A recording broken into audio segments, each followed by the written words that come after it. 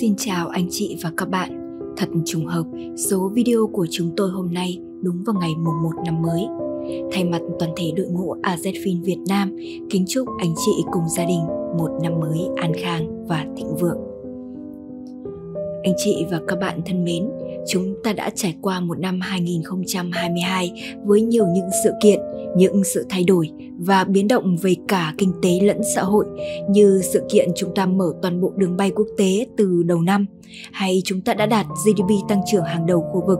Rồi chúng ta cũng trải qua những tháng giữa năm với áp lực lạm phát cao và việc khan hiếm xăng dầu, rồi cả việc xử lý những sai phạm trên thị trường tài chính. Biến động, thay đổi, dù tốt, dù xấu cũng đều đã qua đi. Chúng ta nhìn lại để có những chiêm nghiệm rút ra những bài học và rồi để chuẩn bị cho mình một năm mới vững chãi hơn. Khi năm mới đến chúng ta luôn mong những điều tốt đẹp tới và vấn đề tài chính cũng không phải ngoại lệ phải không ạ? Nhân ngày mùng 1 đầu năm, thay mặt AZFIN, tôi xin gửi ba lời chúc tới anh chị và các bạn. Chúng tôi mong muốn ba lời chúc này sẽ đi theo anh chị trong năm tới và mang lại cho anh chị sự an tâm, vững vàng hơn trong vấn đề tài chính. Đầu tiên, chúc anh chị sự tinh trong nhìn nhận. Chẳng phải kẻ thức thời mới là Trang Tuấn Kiệt hay sao? Người thành công là người thấy trước điều mà kẻ khác chưa thấy. Cái tinh là để anh chị nhận diện cơ hội và rủi ro trong đầu tư hoặc trong kinh doanh.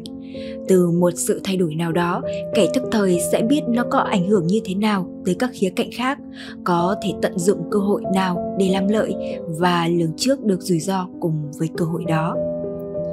Tuy nhiên, cái tinh không chỉ là nhìn xa về phía trước, hướng ra xung quanh, mà còn cần phải quay lại để nhìn về bản thân, để nhận ra điều gì mình còn thiếu, điều gì mình cần sửa để phát triển hơn nữa.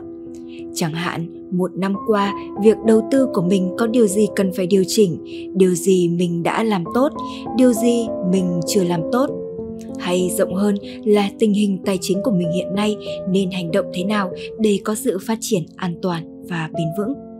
Cái tình của một người có thể xem như lưỡi của một con dao, càng được mài, càng sắc bén. Cái tình sắc bén sẽ giúp anh chị nhận diện vấn đề nhanh hơn, thấu đáo hơn.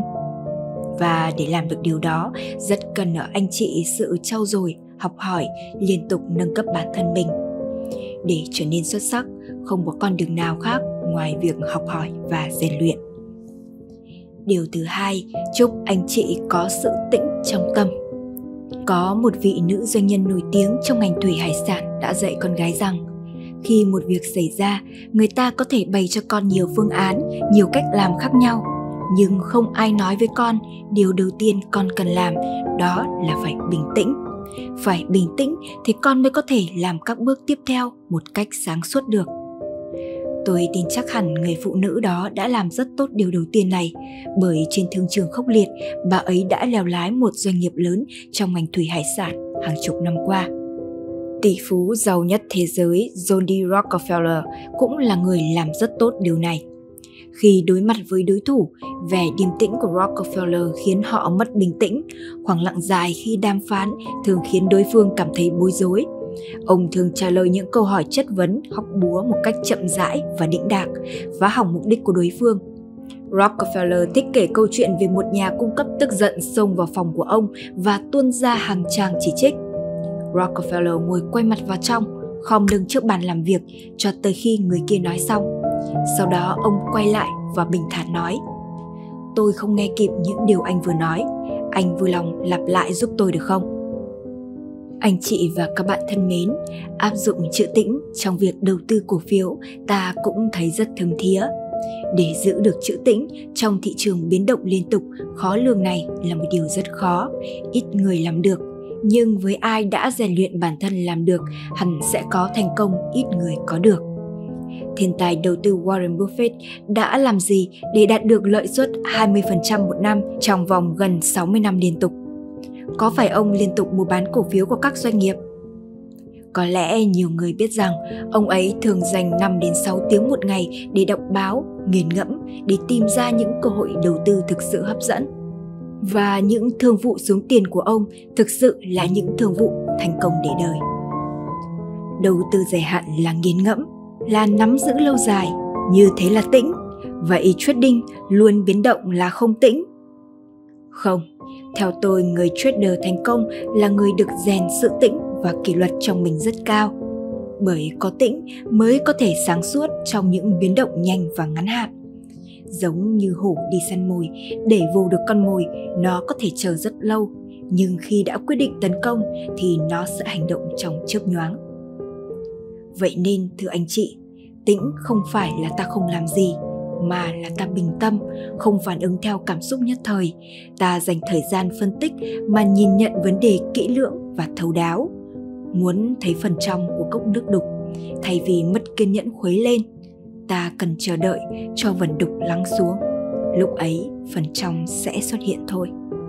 Điều thứ ba, chúc anh chị có sự tỉnh trong hành động.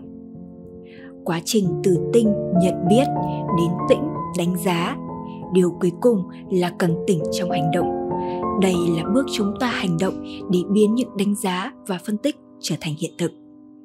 Tôi không đảm bảo rằng thực hiện tốt hai điều trên thì bước hành động này sẽ luôn đem lại kết quả tốt. Bởi thiên tài đầu tư Warren Buffett còn có những thường vụ đầu tư sai lầm. Thế nhưng cũng đừng sợ sai, sợ thất bại mà không dám hành động điều quan trọng không phải là tỷ lệ thành công bao nhiêu, mà là bài học rút ra sau hành động đó là gì. Dù nó đem lại thành công hay là thất bại. Sự tỉnh thức trong hành động là việc ta biết mình đang làm gì và có kế hoạch cho việc làm đó. Đến bước hành động, nếu như lại làm theo cảm tính, không theo kế hoạch, thì có lẽ sự tinh và sự tĩnh là chưa đủ sâu và chưa đủ lớn anh chị và các bạn thân mến, tóm gọn lại, tôi muốn gửi tới anh chị ba chữ tinh, tĩnh, tỉnh cho năm 2023 còn nhiều thách thức đợi chúng ta ở phía trước. Tinh trong nhận diện, tĩnh trong đánh giá và tỉnh trong hành động. Hy vọng bài điều này sẽ giúp anh chị có được sự vững chãi và phát triển trong lĩnh vực tài chính nói riêng và trong cuộc sống nói chung Cảm ơn anh chị và các bạn đã đồng hành cùng tôi đến những phút cuối cùng của bài chia sẻ ngày hôm nay. Chúc anh chị một buổi tối đầm ấm bên người thân.